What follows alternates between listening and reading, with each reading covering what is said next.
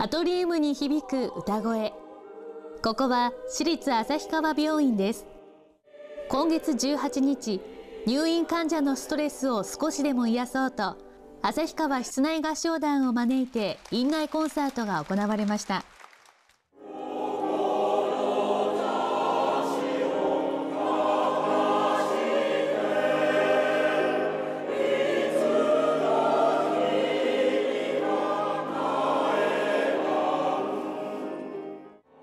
合唱団は福祉施設などでもコンサートを行っていて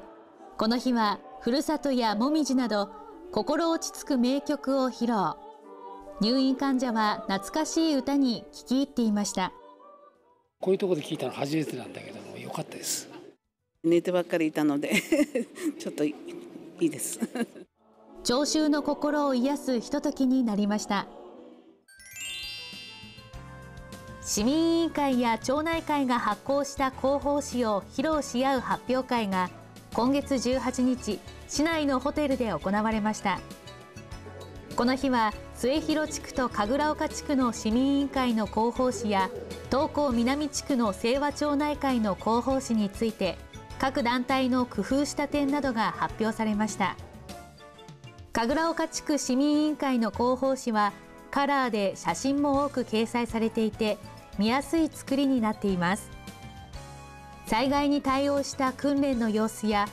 子どもからお年寄りまで一緒になって楽しんだ祭りや運動会の記事もあり充実しています。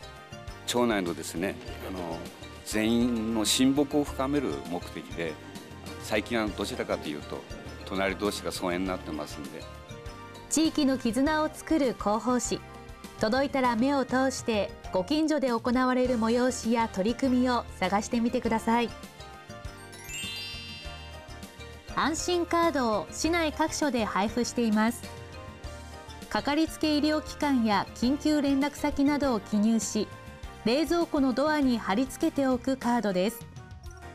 詳細はお問い合わせください。